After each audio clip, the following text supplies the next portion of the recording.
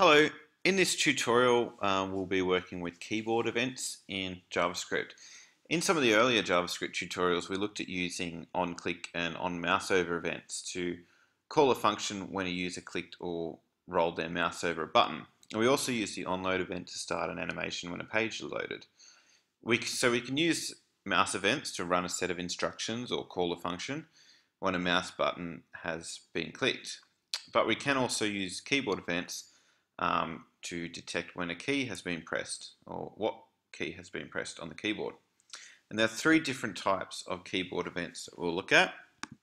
We'll look at key down, key press, and key up. Okay, a key down event is triggered when a button on the keyboard has been pressed down. A key up event is triggered when a button um, that has been pressed on the keyboard is released. Okay, and these two, key down and key up, these two events use key codes to represent the many different letters, numbers, and other keys that are available on the keyboard. So a key code is just a number that represents a key on the keyboard. And a key code is returned to the program when a button has been pressed. A key press event, on the other hand, is only triggered when you click on a key that represents a character. So it has to represent a character, such as a letter or a number or a punctuation mark. And a key press event will tell the program what character the key represents, while the key down and the key up events only tell the program what key has been pressed or released. Okay, so um, the key down and the key up events, they only trigger once when a key is pressed, um, and another thing to note is that key codes return a number which represents a key pressed, and they work with key down and key up events only, while ASCII key codes, um, or uh, ASCII key codes return an ASCII code and work with key press events only. So if you're using a key down or key up event, you use key codes. If you're using a key press event, use ASCII key codes. All right. So um, what we're going to do now is we'll make a small little program which will basically check um, to see if the A letter key on the keyboard has been pressed and if it's been pressed it will just display a simple alert message. Now I know that the letter A on the keyboard is represented by the key code of 65. Now I can find that out by just searching on Google for key codes and you can get here a table of different key codes. So I've got all the different keys on the keyboard, letters and numbers and if I look for A I can see it has a key code of 65 okay so have a look on Google and you'll find lots of um, lists there for key codes like these and you'll also find lists for the, um, the ASCII key codes. Alright, so if I go back to my text editor, and in my script section, I'll start typing the code. So I'm going to add an event listener.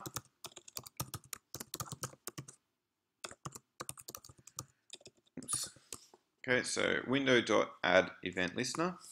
And inside this add event listener, I'm going to have, have three different sections. So key down, which is the event that I'm using, key down in quotation marks, separated by commas, check key press, which is the function that I'm going to um, function that I'm going to um, use, I'm about to make, and false as well. So it's not returning anything to the program. All right, end that with a semicolon, and then create the function, which is called check key press. Okay, in brackets, I'm going to use a placeholder, so just make up a, a, letter or a word. I'm going to use key. You could do anything. You could do E for event, um, but I'm going to use key. Okay, and then curly brackets there for the function code. All right, inside this function, I'm going to have an if statement. So if key dot key code, and code has a capital C, is equal to 65 in quotation marks. Then display an alert message. Alert the A letter key has been pressed. Okay, and that's it. That's all the code. So we've got an event listener here that checks for, um, it has a key down event and then it runs the check key press function. And in the check key press function, it's checking to see if the letter A key has been pressed by um, seeing if the key code is equal to 65, which represents the letter A. Alright, so save that. Test it in the browser. Alright, now I'm going to press a few different keys on the keyboard. I'm going to press B, C, D, E, F, G, and H. Nothing happens. If I press A, I get an alert message. So it says the A letter key has been pressed. So that works. Now if we go back to the code, we might want to um, change this to key up. Test that, so save it, and open that in the browser. Now I'm going to press um, A, right?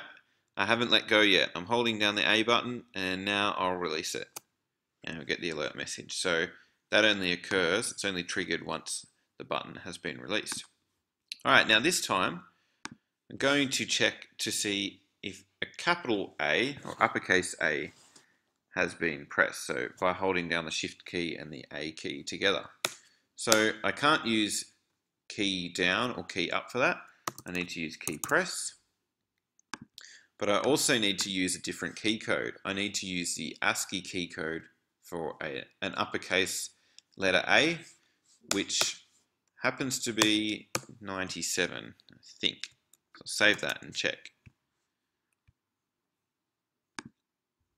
Open that in the browser. All right, now if I press the letter A, oops,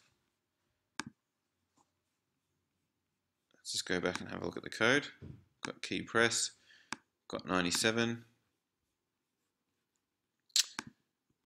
Okay, so, sorry, 97 is the ASCII key code for lowercase a if you're using key press. 65 is the key code, the ASCII key code for an uppercase A. So I'm going to press A, nothing happens. If I hold down Shift and A, then I get the alert message. So just to distinguish there, if you're using key press and the key code is 65, then 65 is the ASCII key code for an uppercase letter A, so you have to hold down Shift and A keys together. But if you want to check for a lowercase um, A in using a key press event and an ASCII key code, then lowercase is represented by 97. Okay, so that's basically how to um, use keyboard events um, using HTML and JavaScript. Just take note um, that not all browsers support um, certain keys. So some browsers might not um, support or recognize when you've pressed the up, down, left or right um, arrow direction keys on your keypad. Um, so if you wanted to make, for example, a game where the user can control a character, and move them around, then you might want to use the WASD keys instead of the uh, arrow keys on the keyboard. Okay. Um, make sure you check out the sample code and um, also check the links um, to see the different key codes and the different ASCII key codes that you can use. Thanks for watching.